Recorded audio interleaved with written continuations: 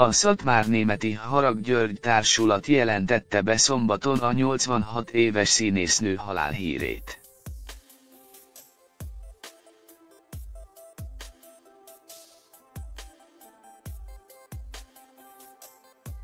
Ellök Szemma Kolozsváron született 1932.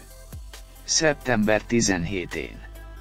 A Kolozsvári Magyar Művészeti Intézet elvégzése után 1953-ban Nagybányán kezdett színházban játszani, később az alapító tagja lett a Szatmár Németi Színtársulatnak, majd 57 éves korában vonult vissza a színészkedéstől írja a Maszol.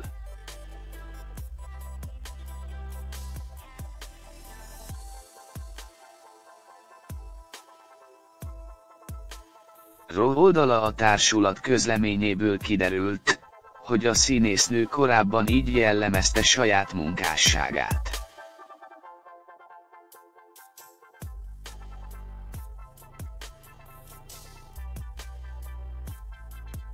Eljátszottam a világirodalom legnagyobb szerepeit, jól vagy rosszul, nem tudom, örömöt is okozott, keserűséget is.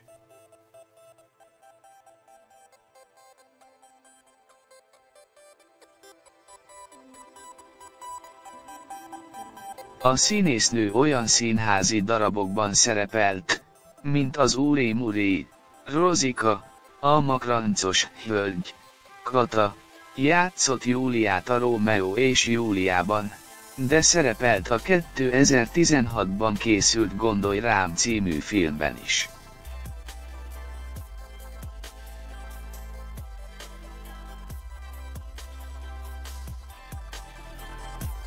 2010 óta örökös tagja lett a Szatmárnémeti Harag György társulatnak, ami saját halottjának tekinti a színésznőt.